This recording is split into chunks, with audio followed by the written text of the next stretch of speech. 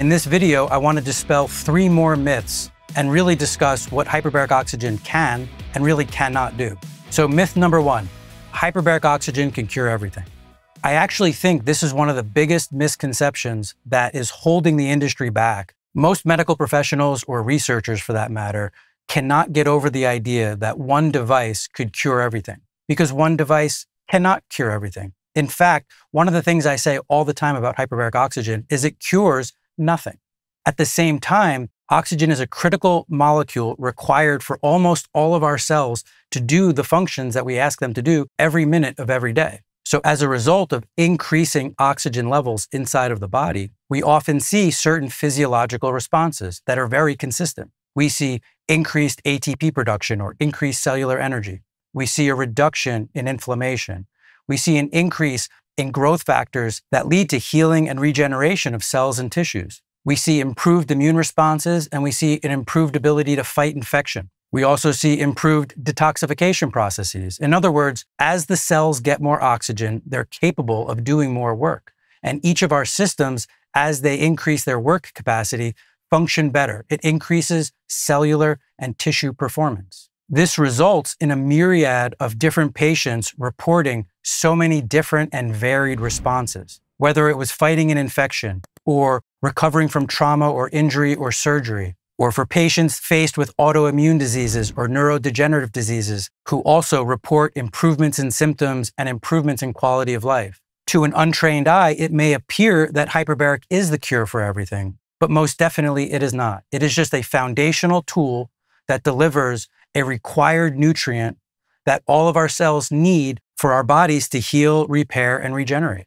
In fact, if we narrow down the overwhelming majority of diseases and conditions, it comes down to three things controlling inflammation, improving mitochondrial function, and then stimulating the repair and regenerative mechanisms of our cells and tissues. And it just so happens that hyperbaric actually plays a role, a significant role, in all three of those areas. And so, so many different patients so many varied diagnoses all seem to respond favorably to this tool.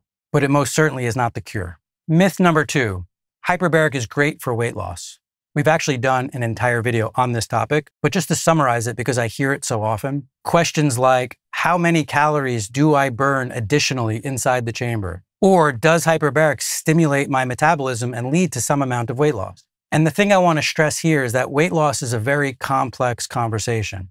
There's a hormonal conversation in terms of hormone balance. There's an inflammatory conversation with regard to our immune system and the balance and regulation of our immune system. There's a caloric quality conversation, not just the number in and number out, but what are the calories actually made out of and how does our body utilize those calories, particularly in terms of macronutrients, fats, carbohydrates, and proteins. And then there's the cellular metabolism. How does your body utilize oxygen and the fuel that you're eating in order to create energy.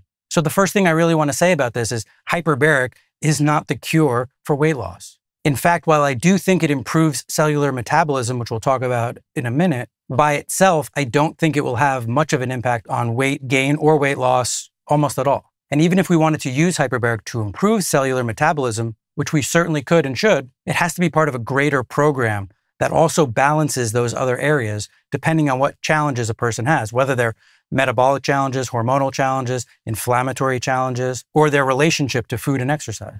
So, this conversation around weight loss has to include all of these different areas, not just hyperbaric. We'll get right back to the video, but real quick, I wanted to let you know that if you're new to hyperbaric and you're really trying to learn more about hyperbaric oxygen and its appropriate uses, I wrote a book, Oxygen Under Pressure, which is available on Amazon, and it goes into the details of what is hyperbaric, how does it work, why does it work, why is it so powerful for so many of the things that it helps, and how do we use it appropriately and use it safely. And so if you're interested in that, we're going to add a link in the description below so that you can buy that book today. All right, now back to the video. Now, on the hyperbaric side, hyperbaric can improve cellular metabolism. In other words, when we eat our food and we're creating energy, we need to oxidize that food. So we bring in air in order to extract the oxygen. We eat food in order to produce energy dense molecules. And then we essentially oxidize that fuel in order to create cellular power and cellular energy. It takes quite a bit more oxygen to burn fat molecules than it does to burn carbohydrates. And as a result, we can use hyperbaric to increase our fat metabolism, but not without also changing our diet. We would also have to lower our glucose and carbohydrate intake, increase our fat intake, and start to shift our bodies into a fat burning mode. And then we could utilize increased levels of oxygen to really improve the rate at which we're burning that fat for energy. In some of our more chronically ill patients, we use strategies like that where we're shifting someone's metabolism into something more of a ketogenic diet, which is a very heavily fat burning diet. And then we utilize ketogenic diet and fasting along with hyperbaric to really drive the fat burning processes inside of ourselves. But again, alone, this is not a tool for just generic weight loss. And lastly, for this video, myth number three, other oxygen therapies are just as good as hyperbaric. In fact, they're actually easier to obtain and less expensive.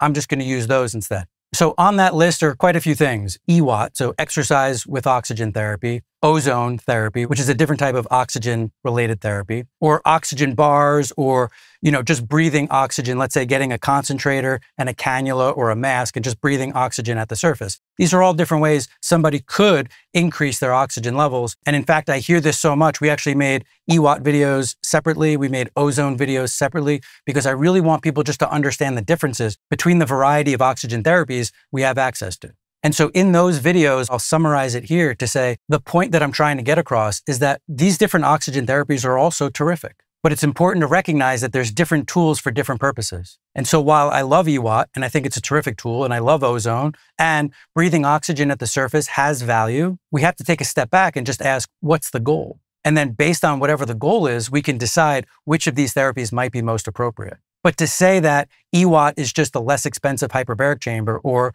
ozone is going to create the exact same changes as hyperbaric, or breathing oxygen at the surface is less expensive and easier and equally effective as hyperbaric oxygen is just inaccurate. So for more details on the specifics behind the differences between hyperbaric and EWOT or hyperbaric and ozone, please check those videos out. But just understand that hyperbaric is also a very specific and unique therapy. What it does by increasing atmospheric pressure is it drives additional oxygen into our circulation far beyond what any of these other tools can do. Now, there are times where ozone is a better choice. There might be times where EWOT is a better choice. But if the goal is to deliver the highest level of oxygen inside of our bodies for the purposes of healing and regeneration, no tool even comes close to what's possible with the hyperbaric chamber. Like everything else we do in our life, everything else that we do in medicine, it's just all about choosing the right tool for the right outcome. In addition to the video that we did on EWOT and the video that we did on ozone, we also did another video on additional myths around hyperbaric oxygen. So if you haven't seen that one, you can click right here and you can watch that next.